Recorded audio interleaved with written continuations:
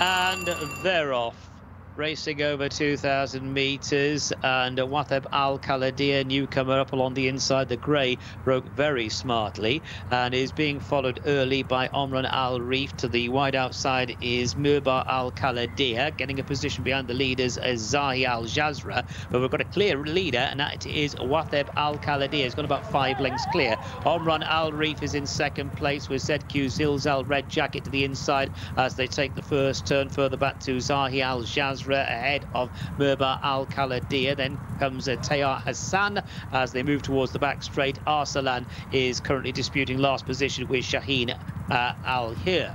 Going towards the back straight must be about 15 lengths first to last, and it is Watheb Al Khaladia being pressed for the lead now by Omran Al Reef. Not a lot between the front two, only about a half length as they move past the 1200 into the back straight. Those two are a couple of lengths in advance of ZQ Zilzal, who's in the red jacket, a few lengths away to Zahir Al Jazra. Yellow cap and Mirba Al Khaladia now starting to make progress, moves into fourth place. Front three got a few lengths on it though. So it is Watheb Al Khaladia on the inside of ZQ Zilzal, who's now riding into town. Omran Al Reef just in behind them, and then a break of around about five lengths to Mirba Al Khaladia is kicking away from Zayal. Jazra's under pressure, overtaken by Tayar Hassan, who's clear then of Arsalan. And as they head away from the back, Shaheen Al is a long way behind. So it is Watheb Al Khaladia joined now by ZQ Zilzal in the red colours they reach 30 miles per hour. They're inside the last 600 metres. A break of three lengths to Omran Al Reef and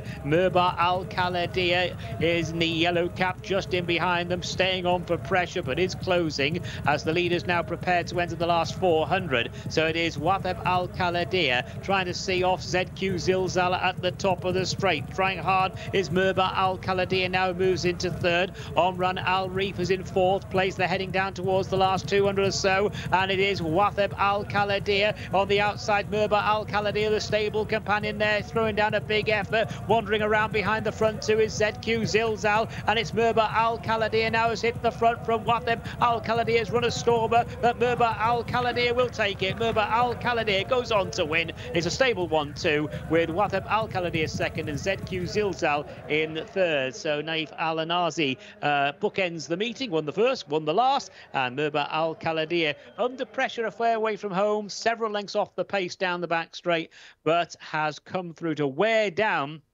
the uh, stable companion there.